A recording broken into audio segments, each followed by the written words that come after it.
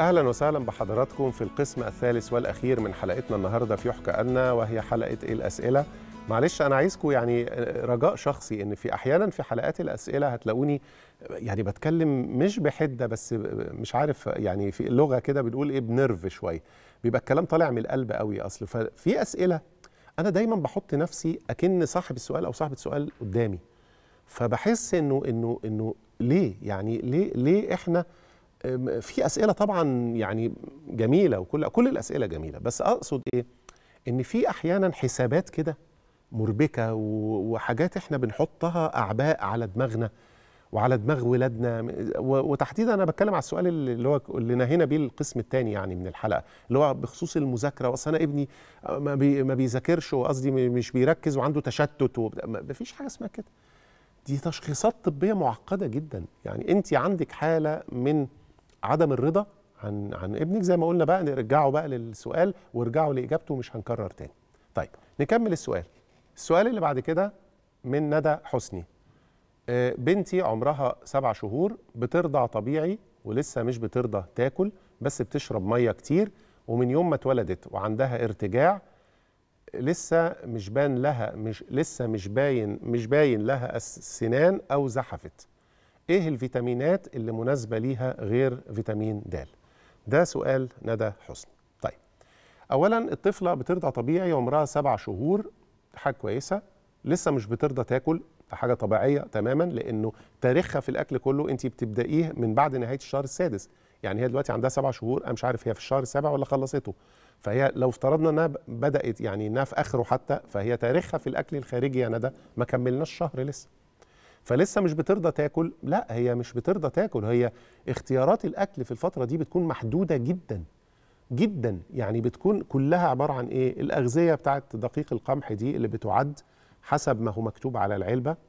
بتجيبي مثلا كوساية تسلقيها وتهرسيها جدا جدا جدا. البطاطس حتى بتبقى صعبة على الأطفال في الوقت ده كبدايات.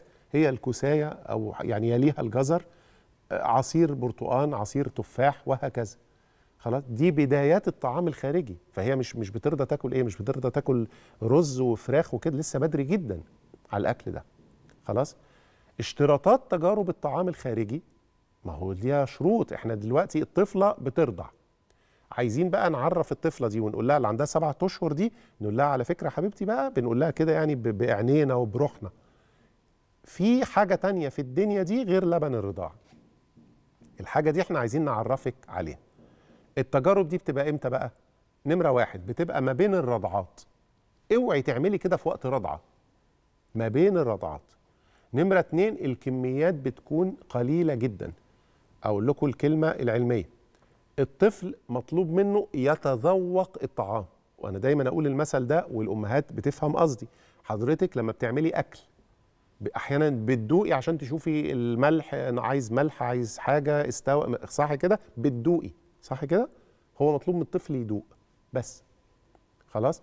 مطلوب إن وقت الأكل ده ما يبقاش وقت غيار. يعني ما يكونش الطفل مثلا عايز يغير وانت كأم عارفة إن بنتك أو ابنك عايز يغير وتقولي له يلا نجرب الأكل. لأن هو في وقت يعني لما بيبقى عايز يغير بيبقى مؤرق جدا.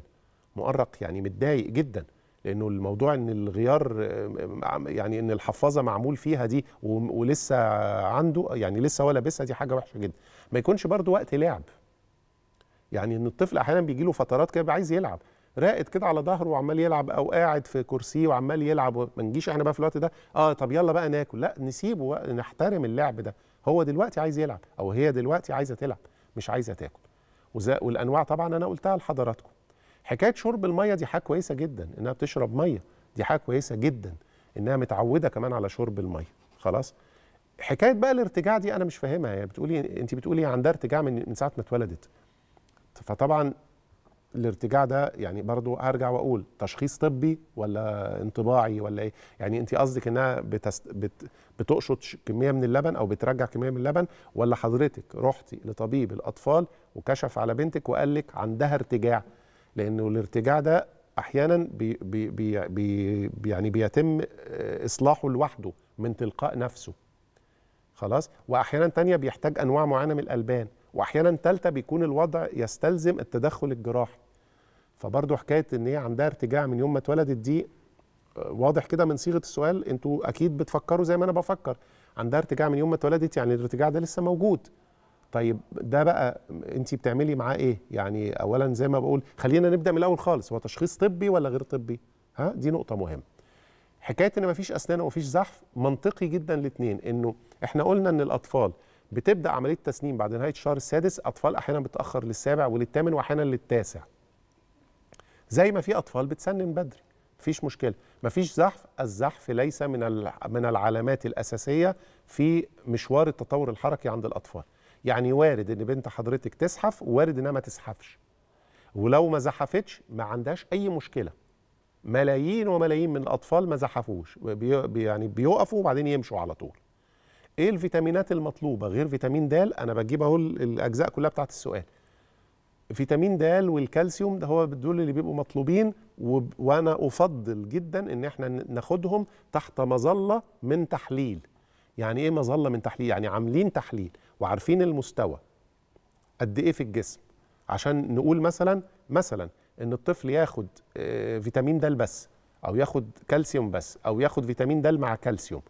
طب ياخدهم كل أيام الأسبوع ولا يريح يوم في الأسبوع ولا يريح يومين؟ كل ده إحنا بنعرفه إزاي؟ بنعرفه من خلال التحليل. لما نعمل تحليل مستوى الكالسيوم في الدم خلاص ال serum calcium وال ionized calcium ونعمل تحليل فيتامين د بنروح للدكتور يقوم الدكتور يمسك كده التحليل ويقول أيوه بناء على التحليل ده الخاص بالبنت دي اللي عندها سبع شهور هتاخدي الدواء الفلاني أو هت... في دواء ممكن الاثنين مع بعض أو الدواء ده لوحده أو الدواء ده لوحده. فهمتي قصدي؟ وهتاخديه كل يوم مثلا سي أربع نقط. كل يوم يقول لك كل يوم ما عدا الخميس أو الجمعة يعني. أو كل يوم ما عدا الخميس والجمعة. فهمتوا قصدي؟ أو يوم في يوم ما فيش. الحاجات دي بتتحدد بناء على إيه يا جماعة؟ بتتحدد بناء على مستوى أو الرقم اللي طلع لنا في التحليل.